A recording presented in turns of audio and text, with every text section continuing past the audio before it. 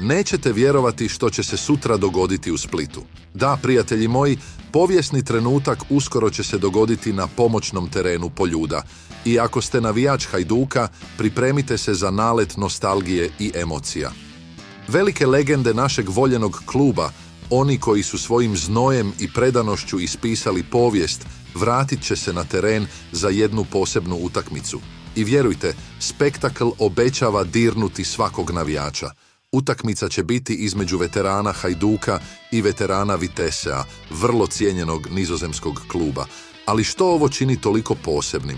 Neće to biti samo revijalna utakmica, bit će to prava proslava nogometa i povijesti našeg Hajduka. Zamislite samo, Hrvoje Vejić, Din Računica i Tomislav Erceg.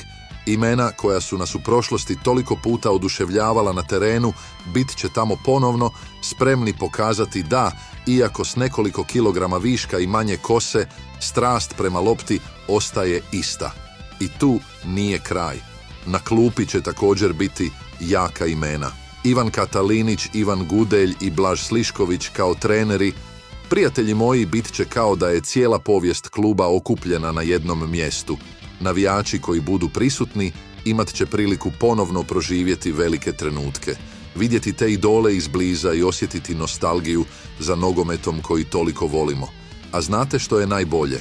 Ulaz će biti besplatan. Da, svi će moći besplatno uživati u ovom epskom susretu ali neće sve biti samo slavlje.